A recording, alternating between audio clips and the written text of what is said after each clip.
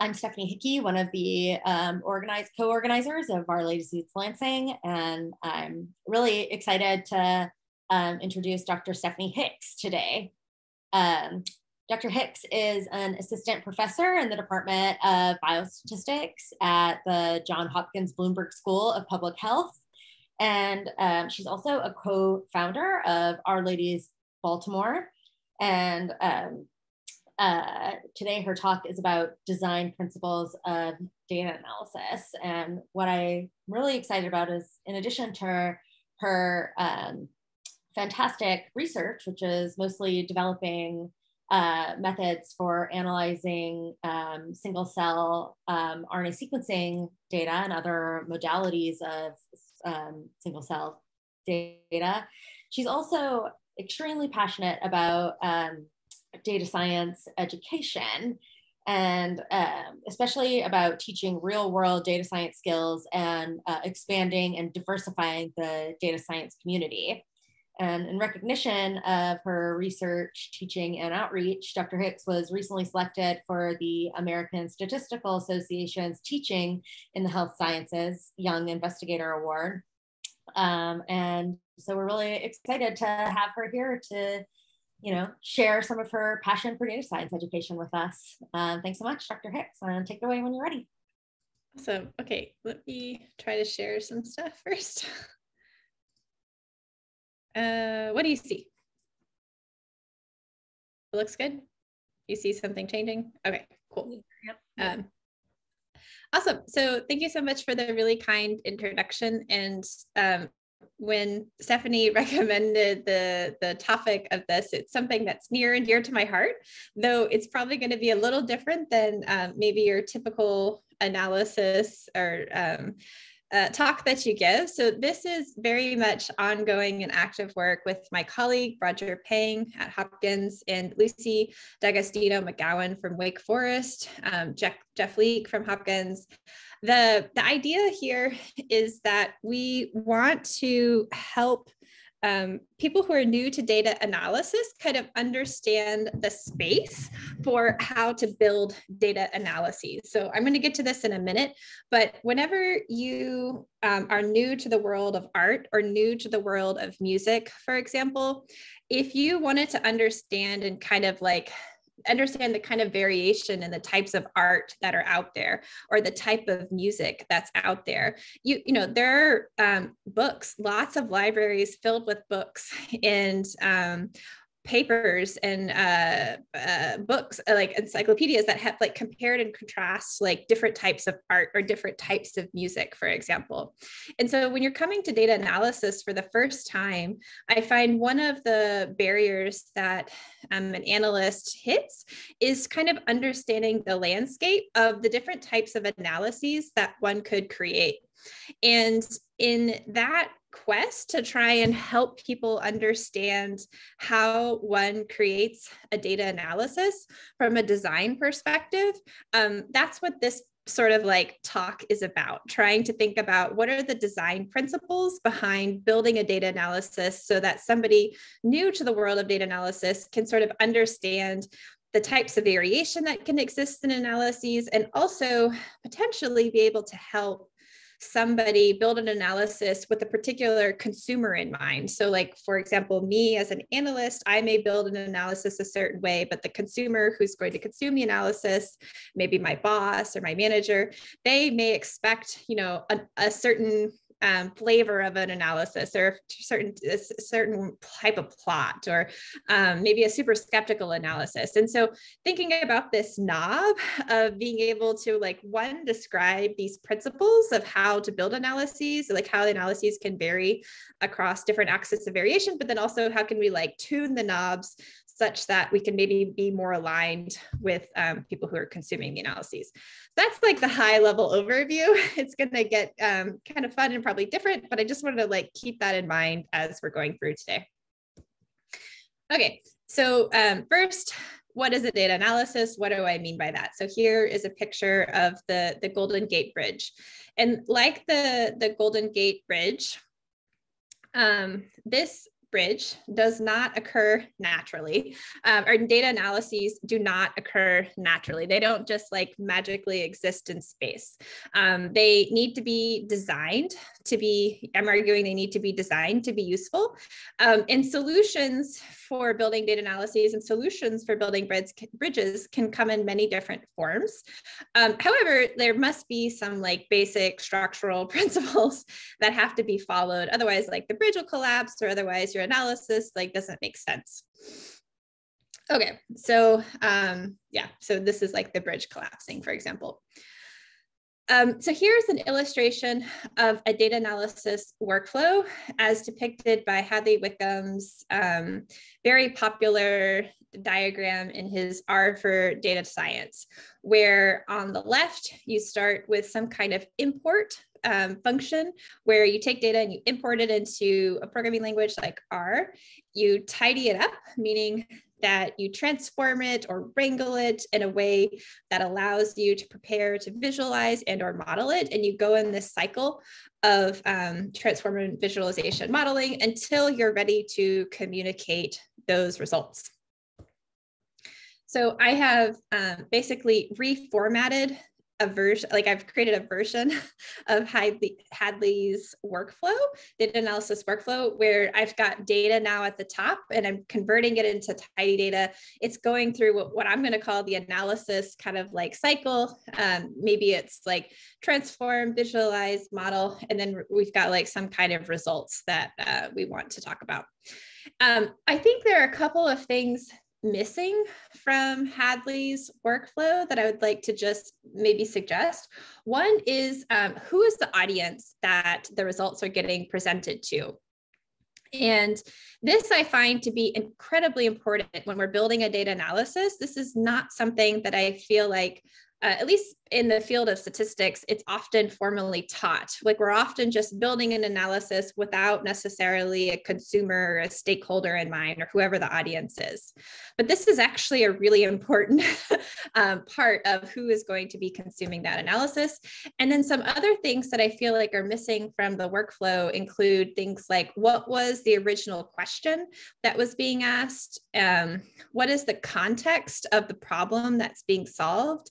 What are the resources that are available to build the analysis? Do you have like an unlimited budget and you can spend 50 days or like 50 years on this project? Or do you have an unlimited number of GPUs? Or do you just have, you know, uh, a version of R installed on like a really old operating system? And like, so what are the resources to build the analysis? And then also the analysts themselves. So the analysts may also have like preferences for how one builds an analysis. So these are all really important um, concepts that I feel like are not sort of like that that might be like implicitly included in Hadley's workflow, but that are actually really important whenever you go to build an analysis when you're trying to communicate that to somebody for the first time. So um, if we only like we take away all the things that I just talked about and we only look at this part of it, for example, um, my point is that this starts to think this starts to um, look like maybe that that we're thinking about this as like maybe the data are just a bunch of numbers here. And this was said by Chris Anderson in 2008 in Wired magazine. And he made the claim that, you know, with enough data, the numbers basically speak for themselves. Like we don't need to know who the audience is. We don't know who the analyst is. We don't need to know the, what the context is, um, anything like that. And, and so Anderson's example is like the Google search algorithm. So for example, um, Google systems don't need to understand necessarily why some pages are more linked to others, only that it's happening. And then they are going to use that as an indicator of relevance when you're searching. Um, that it's not important to know why, but like it's happening, and I'm going to use that information um, and and sort of like the data are just a bunch of numbers, and I'm just going to then continue to like rank these pages higher and higher. So Catherine uh, D'Ignazio and Lauren Klein from the Data Feminism, they asked, um, do numbers ever speak for themselves? And the short answer is no, and the long answer is no. They argue that actually context does matter and numbers do not speak for themselves. Um, and until, uh, oh, sorry, one second And until uh, we really invest as much in providing and maintaining context as we do publishing data, we're just going to end up with like public information resources that are subpar at best and maybe even dangerous at worst, meaning um, if you don't provide the context um, in data analyses, like this can often lead to power imbalances or misaligned incentives. Um, especially when the numbers have to do with human beings. And so, like, this could lead to discriminatory practices and be like just not healthy and dangerous. So context does matter. So my point is um, these aspects, uh, question, context, resources, uh, are really important in the context of building a data analysis. Okay, so let's um, think about why this might matter and talk about data analysis expectations. So let's say we have um, an idea in our head of what our data analysis looks like. So this is the expectation of what we think um, we, might get from an analysis, for example. And then we also have kind of like what we observe um, to have happen. And this is prob this is like an example of what actually happens in our analysis.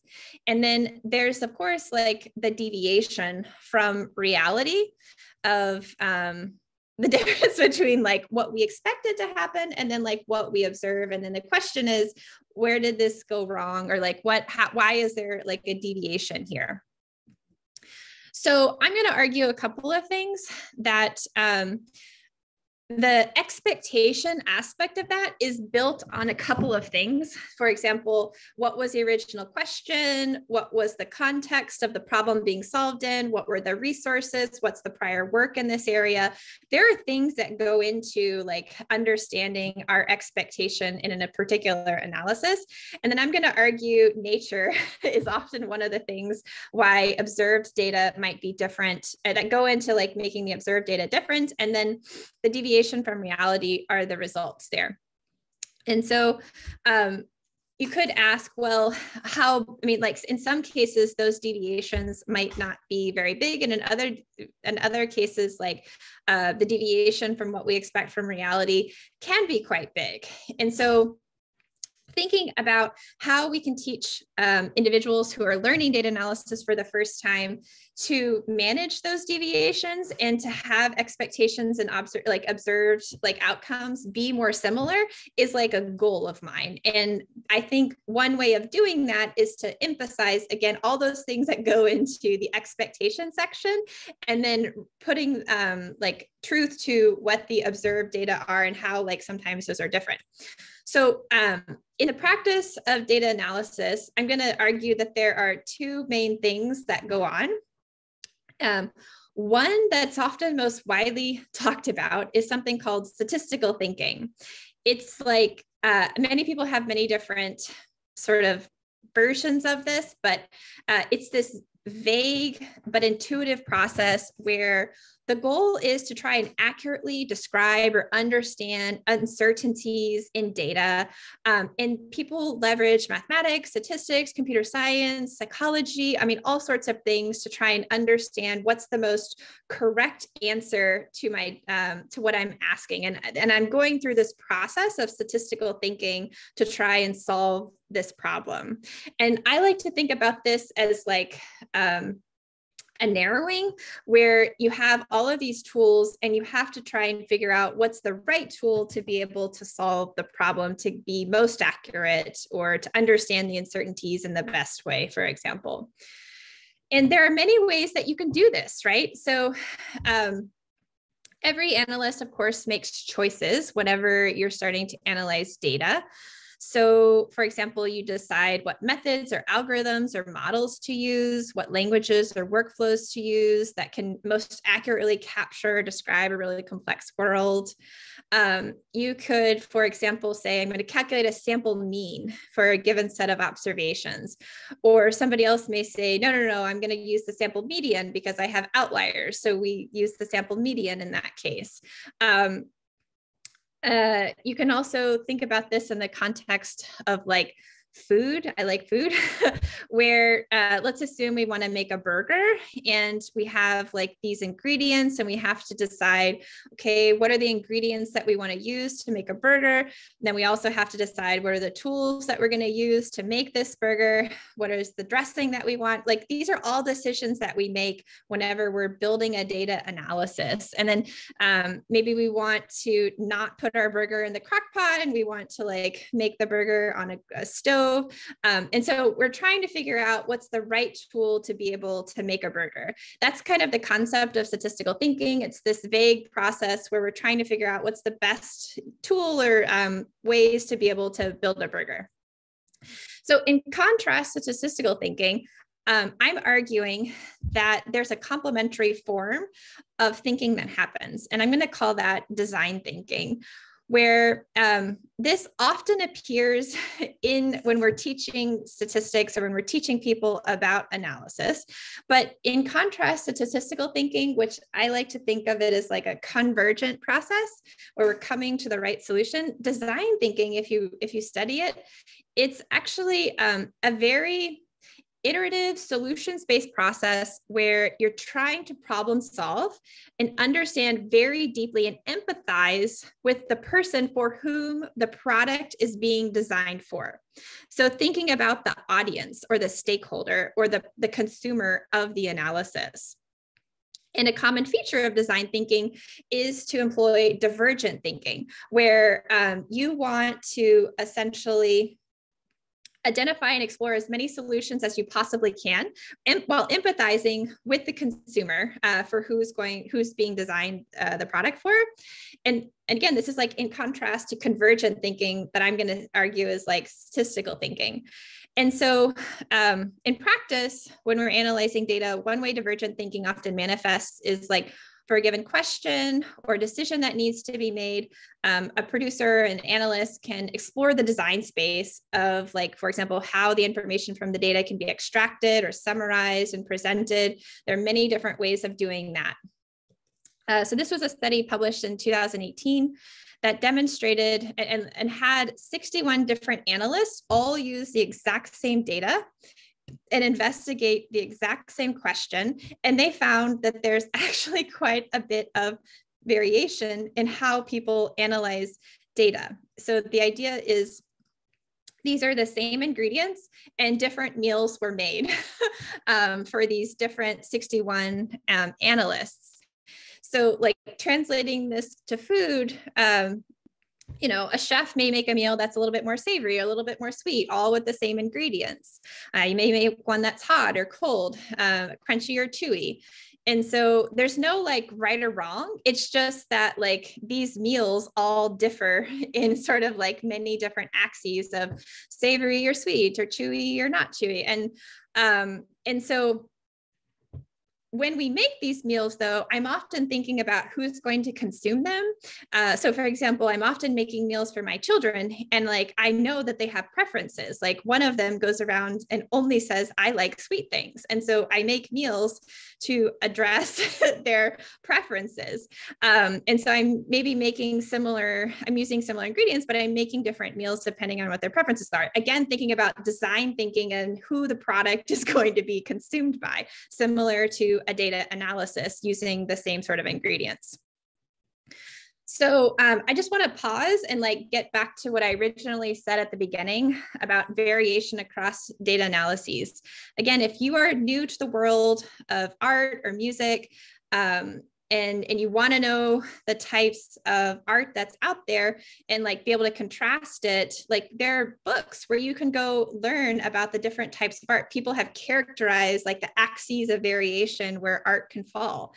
Um, and so if you want to do that for data analyses that doesn't really exist. I'm arguing that doesn't really exist. Like somebody who comes to the world of data analysis uh, they're not like databases of data analyses. There's the web and you can sort of like find examples sort of like hodgepodgey, but there's not really a place for someone to learn about examples of data analyses that then they can like start to figure out, oh, I want to build this type of analysis or this type of analysis and so forth.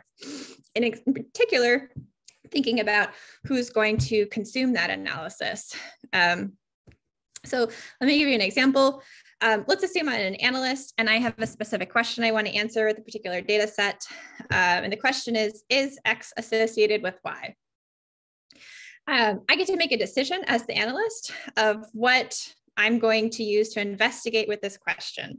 So um, I could make a plot, like a scatter plot um, of X against Y, and that could be the end of it. Like I could say, is X associated with Y? I made a plot and that's the end.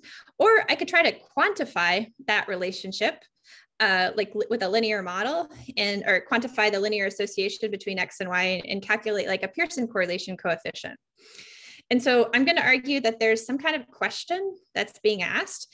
And then I'm going to argue that there's a data analytic element, such as a scatter plot or a Pearson correlation coefficient, that's being used to investigate this question. So um, one on one extreme, an analyst may say, okay, I've got a question. I did a, I made a plot. Um, there's the result. My plot is the, I mean, my, my result is that, that there's, um, there's not like a yes or no, it's just like a, a visualization of the relationship between X and Y. Alternatively, a data analyst may investigate and use multiple elements to investigate this question. They may like um, make a plot, calculate the Pearson correlation, calculate the Spearman, Spearman correlation. They may fit a linear model. They like may do all these things, right? Um, I'm gonna like suggest that these two types of um, extremes are either more exhaustive or less exhaustive. And I see analyses that fall sort of like on extremes or in the middle. But I don't think, for example, when you're new to analysis, that these extremes are very obvious to students. That, like, should you just make one, should you investigate with just one element and call it a day? Or should you investigate with multiple elements and call it a day? It kind of depends on what the preferences are for the analyst. And it kind of depends on what the preferences are for the person consuming that, that analysis they may want just a plot. They don't, they might not want any like quantitative assessment, or maybe they have to have a quantitative assessment. And so this is an axis of variation that I often see analyses sort of like existing in, um, if that makes sense. And so, and um, with this goal of um, these axes of variation, we started to think about different axes that like data analyses can fall on um, with the goal of a consumer or a stakeholder or an audience in mind. And so let's say, for example, you can think about this principle, a data analysis principle, as like the knob that I had at the beginning, where um, an analyst turns down the exhaustive knob. They're not super exhaustive. They just make a scatter plot. And the audience, the boss, so the person consuming it, they're also pretty like, they don't care so much about exhaustive analyses. They just want like an element to be investigated and they just need like a quick answer. And in this case, I'm going to argue that like there is an alignment uh, on this principle for this data analysis between the analyst and the audience. And again, you can think about it like the idea is to think about it with these knobs um, where it can be turned up or turned down and so forth. Or there can be more or less. I should have like clicked on this. Sorry. Um, okay, so then in contrast, let's say the audience or the consumer is like wanting a very exhaustive analysis. So they've like turned their exhaustive analysis knob way up. And in this case, there is a misalignment um, between the analyst and the, the consumer or the audience. And I find that when somebody is first getting into the world of analysis, this is not so obvious to people that like they might build an analysis and then they are disgruntled or confused as to why the person who's consuming the analysis is um, you know not like was expecting something different. Their deviation from reality was quite big there. And it was just because the analyst built an analysis with on a certain access of design principles different than what was the preferences for an audience and so forth so um, these design principles, they are designed to really reflect qualities of a data analysis. They're not designed to be good or bad. Whether you have an exhaustive or analysis or a non-exhaustive analysis, like a high or a low exhaustive analysis, that in and of itself does not mean an analysis is good or bad. I'm framing this as like whether or not there is an alignment between you as the analyst and the consumer of the analysis, whoever they may be. Um, and so these characteristics and these preferences, of course, can be like highly influenced by outside constraints like resources, time, or budget. I mean, it may be that, you know, your boss is like, give me an answer now. And so you only have 10 minutes to do a quick analysis in R. And in that way, um, you know, you're ramped down on exhaustive analyses. Like you're just going to make like a scatter plot or calculate a Pearson correlation and move on um, and so the thing I, I want people to know is that like the data analysis um, data analyst when they assign weights to these design principles and that can lead to different analyses. Like it can lead to an analysis that's more exhaustive or less exhaustive and there's nothing necessarily wrong but there are these weights that are assigned to, um, like internally when we build these analyses. And so um, i thought a little bit about what is an aligned data analysis in the context of um, the audience or the consumer or the stakeholder. And going back to what I originally talked about is that data analyses, of course, must be designed to be useful.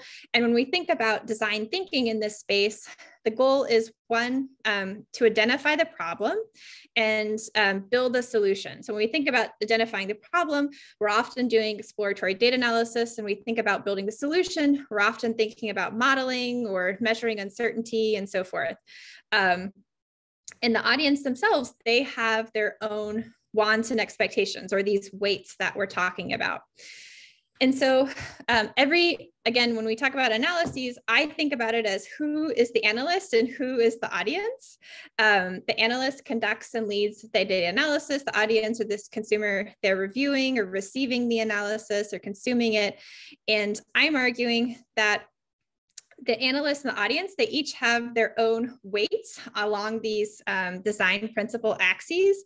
And an aligned analysis is one in which the audience accepts essentially what the analyst is doing and agrees upon the weighting. So they agree that the weighting is correct, like, and that they are happy with the analysis. So you can think about it uh, where the weights of principle one through principle N for the analysts and the audience match versus the weights of principle one through principle N don't match versus like when they match versus when they don't match and so forth.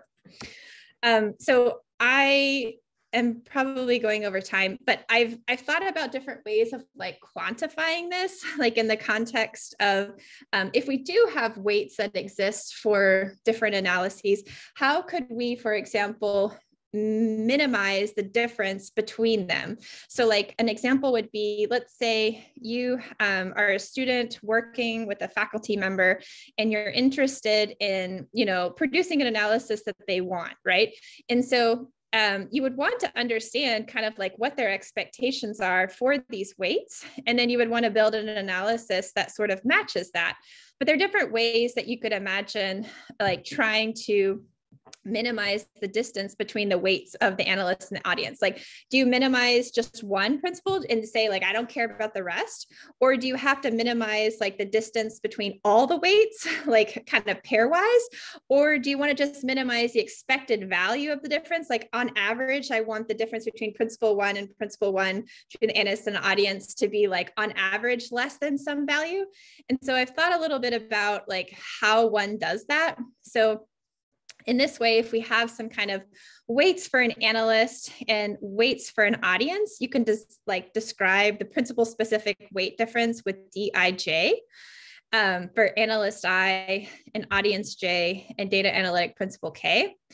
Um, and so you can put these all together in some kind of distance metric for all of the K principles, and then think about the following. So there could be something called strong pairwise alignment, where um, you assume that the DIJs can never be zero.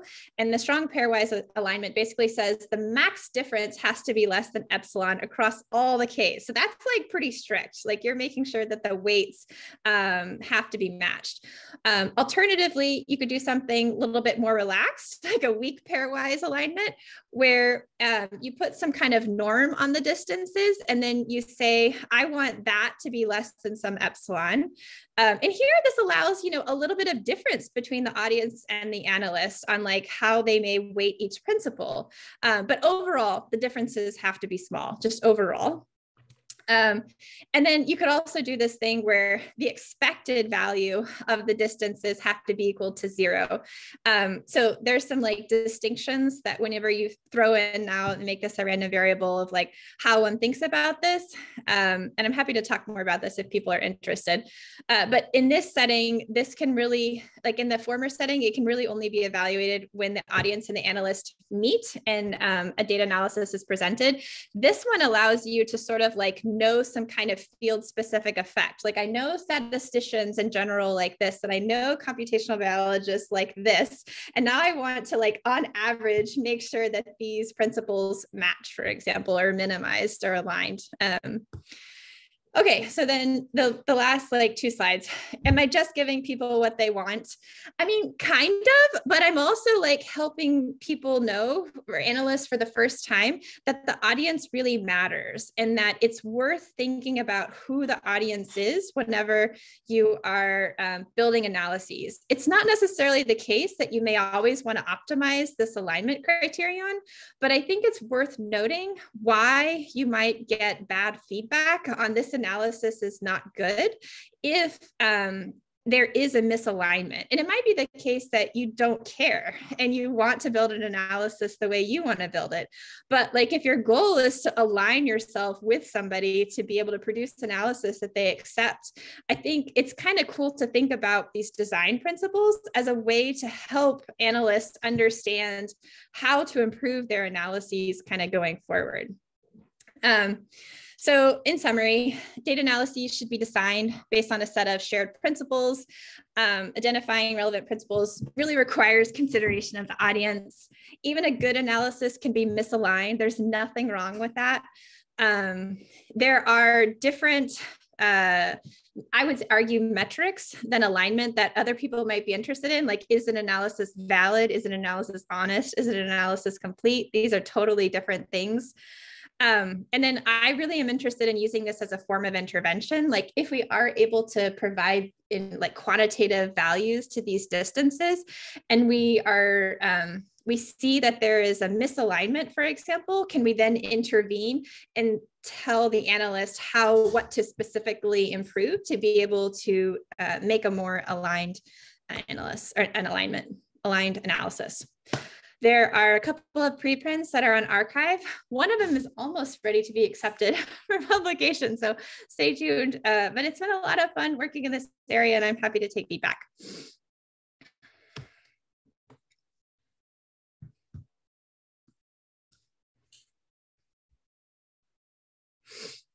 Thanks, everyone.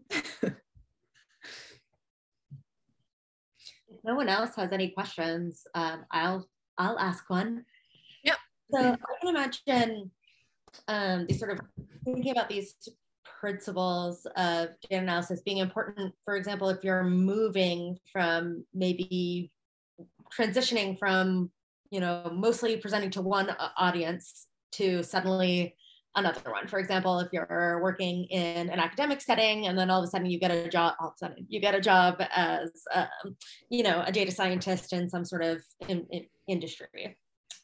And I wonder, uh, do you think if these sort of design principles become a more common phenomena, I could imagine like some sort of like poster up in, in, you know an office. It's like these are how we want our design principles to be. Some sort of like SOP for um, you know building analyses for in in certain things. But do you uh, like imagine there ever being sort of just like a set, like these are the design principles for data analysis, or do you think it'll be like extremely field flexible as to what sort of principles are important at all? Yeah, so we in our one of the preprints that I, I listed there, the design one, we actually like put out, you know, here's a set of seven that we think exist. And um, we have like plots sort of like describing and, and like text describing what we mean by it. And we have different ways of like um, that we would quantify them. So like one of them is reproducibility. So this is kind of like very touchy, but I'm arguing that reproducibility is not necessarily good and bad, uh, meaning that it's like you could make an analysis that's more reproducible and less reproducible. If I open up R and I run a Pearson correlation of a data set, but I don't save that script, for example, that is an irreproducible analysis, meaning that like it's gone the moment I close R. Does that make it bad? I, I'm arguing no, because it might be that there was a huge constraint on like, I needed to produce this code now and I didn't spend the time to save it and put it in a GitHub repository and like I, I just like ran it.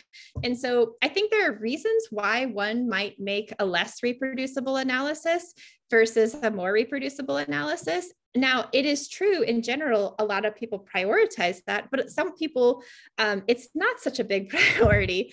And so um, I am postulating that like reproducibility is one of them, that analyses can exist in this dimension that are more reproducible and less reproducible. And just by the existence of being more reproducible and less reproducible, it, it does not mean it is like necessarily good and bad until one talks about like evaluating it and that brings in an audience an analyst and like the all the other things that i talked about outside of like the little workflow that hadley started out with and so I am um, interested in understanding what these principles are. We we tried our best to like put out there what we think are a few of them. I'm sure it's not an incomplete. I'm sure it's not a complete list. I'm sure it's an incomplete list, and I would love to have like a larger discussion on what are these axes of variation that analyses live on because I personally would love to have a poster or um, a list to provide to students for the first time working on analyses so that they are aware that you know anal- analyses can live in these sort of like dimensions and it's something to think about when you're building an analysis um, if that makes sense. Totally just to have even some common language would be great. Yeah. Yeah. Go ahead Steffi. Hi, thank you. Um, I apologize. I missed the first 10 minutes. So if this is oh. related to that, just to let me know. Um, I think one thing maybe I kind of misunderstood a little bit the the idea behind the design principles, but um, I think something I kept thinking of the whole time you were kind of talking about this is like, oh yes, I know exactly what this is. I'm a consultant, right? And I work with my clients. And so I I kept thinking to myself though, this alignment though, um, like that's a shifting thing right? Because like so one thing i do value you know like i try to do is i try to like i do have my opinions about what should be done. And i try to have that conversation with my client about this is why i really think we should do this. If you really don't want me to like i won't but i really really think we should. And you know and they they also will tell me like this has to be done for these reasons. And um and that brings us our alignment back together i guess um, so I was just like, where does that kind of interpersonal stuff kind of fit into this idea? It's the same thing with students. Like I know like sometimes students need to be, um, you know, the supervisor is kind of informing the students of like, no, no, no, you got to bring it over here. But sometimes it's vice versa. Sometimes the students are like, no, you, you need to catch up. you need to bring it back over here. Um, I'm just kind of curious about the interpersonal and that teaching that kind of, um, if that kind of features anywhere. Yeah, you're like light years ahead of me. Like I find just giving this talk alone is hard enough to explain to somebody the difference. No, no, no, it's exactly where I want the conversation to go. So what, what I want to have is like one agreement and sort of like a, a discussion, a large discussion on what are the principles. And then I want to discuss like what are the ways that we can align them and how like there are many different ways that we could align them and then also intervene. Like I think that's what you're getting at with the interpersonal aspect. Like um, you have that communication and that conversation with the person consuming it and then you decide okay well i'm going to like do this or i'm going to do this and then because i know that they want this or i want this. And so the idea would be to leverage this kind of framework and maybe have some kind of intermediate quantity where we say like at this time point there was an evaluation and there was a misalignment and we had a communication and then we go forward.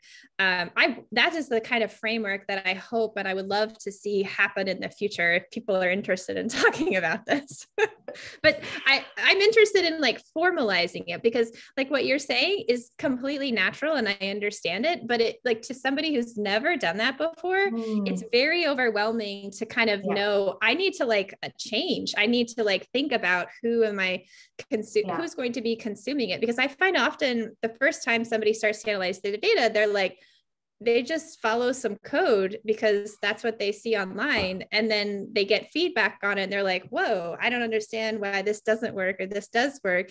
And i think like that feedback often happens in like a PhD or a master's thesis, for example. Yeah. But I'd love to like mm-hmm. formalize those concepts in the classroom or like like in an industry setting where it's very easy to understand, like it's very clear what we're talking about, as opposed to like, don't you know that you need to do this instead of this? Like that is frustrating to somebody who's never really like experienced that before. that makes sense. That is no, that's really it's an interesting way of thinking about it because it is something I've, I've kind of learned and I guess I do. But and so that's what was, it's kind of interesting for me to be like, hey, there's actually a formal framework for this. Um, but I think it might have been easier if I kind of had some training like you're suggesting in it beforehand instead of just kind of figuring it out. or that's my know, goal. that's my goal. Yeah. Awesome. Thank you so much. Thanks. Can I ask a quick question? Um, so kind of dovetailing on that and, and where this enters in the classroom and, and kind of before master's or, or PhD to get this, this sort of feedback, are, are you thinking this might be kind of a, a, core course within an undergraduate framework or something in a graduate framework or kind of where in the I guess, course um, process do you you kind of see this coming in? Because I think sometimes some in, in my own experience, I've I've found sometimes it's hard for me to even know the right words and things to ask to for the statistical thinking aspect of it before I can begin to apply kind of the design. So I don't know what your what your thoughts are on on that whole yeah, I, I think there must be some level of technical skills that, and it, you call it statistical thinking, at some level of statistic or some kind of technical training where um, it, whether it's in statistics or whether it's computer science or business or engineering, whatever it is, there, there has to be some kind of technical foundational training to be able to understand like what is an element that we're going to use to investigate within an like um, a, a question, for example. Otherwise, like that aspect doesn't make a lot of sense to someone. And so I do feel like there has to be, I don't know if you call it some level of struggle, but some level of like understanding the technical aspects or foundational aspects to a field before you can like start to introduce these concepts. That being said, one would hope that it's not like at the end of their like training where, you know, you struggle for a long time and then you're like, oh, I really wish like somebody had like formalized these concepts for me. So I don't have like a strong sense of exactly where it would fit, but I do agree that there needs to be some level of technical foundation provided in the training first. Um, and it doesn't have to be like exhaustive by any means, but enough to like feel like a person could analyze data um, with some level of like confidence. And so I could imagine you know some some really awesome undergrads doing it, and I could imagine like um, being more relevant at the graduate level too. But I really think it's it's designed for individuals who um, want to like think about uh, building analyses and like eva- ways to evaluate analyses. Like some people just may not care about this sort of like thinking and i don't necessarily know if it like fits into a statistics like training or like what kind of department either um, but I I do feel very strongly that like a lot of this and this a lot of these concepts are taught in a very ad hoc way in a very painful way for students. And I I want to like change that. And I would love to see different departments pick it up or like some version of it. Maybe it's even a lecture. Um, but I think it needs a lot more work, but I really just like wanted to talk about it so I could get other people's feedback on like even what are the principles that they think are there and um, how would you like to see this kind of work introduced um, like via interventions or in the classroom. So yeah, that's my goal today. awesome, thanks. Go for it, Arjun. Hey, thanks. Hey, Stephanie. Uh, it was a super talk. I really enjoyed it. Uh, I was, uh, when you were talking about these, you know, points and text, at some point in your talk, I was expecting you to turn this into a constraint optimization, and you definitely did that. Okay, so that was great. uh, so, okay, so uh, I think the question really, uh, it's, I really like this because it's always hard to articulate what one wants. And i think your your work sort of gives some kind of a language to talk about this. And i think that's that's really nice. And i wanted to get your thoughts i mean your comment on the following right? And in research we know this that the expectations that we have actually continuously changes with time. And then even the principles that we want or rather we weigh our weights on these principles also we continuously get recalibrated. And that yeah. doesn't change until we see the result at the current point right? Yeah. so what are your thoughts on that? Yeah you're talking about like time models. I mean like time varying models which like i think is a natural way to describe this as well. This is like thinking about it as a fixed time point. Like i'm even like thinking this is like a super simplistic like one time point one set of fields uh, one analyst one audience like one member in an audience even. Um, and so I, I feel like there's a lot of room for um, contributions like methodological contributions to being able to explain and like describe like how we could think about this and time varying effects i think are one of them. Like what if we could quantify like these weights at across time um, and then like how would one uh, think about adapting this in the sense of wanting to like realign if there's a mismatch because some there's like a change point in somebody's career such as a field or preference changes. Um, yeah i think that's really important and not at all something that i have thought much about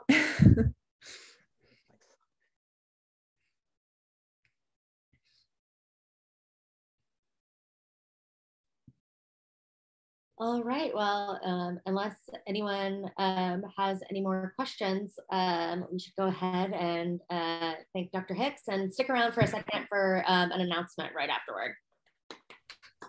Thank you, everyone. Thanks. Awesome. Have a great day. Thank you so much, Stephanie. It was a fantastic talk. And uh, one quick announcement for those of you who are here. Um, we would like to hold a mixer for R-Ladies East Lansing, again in a hybrid format with in-person and virtual. So if any of you are interested in volunteering or take up any leadership or any other kind of partnership role with us, we are looking forward to talking to you and meeting you.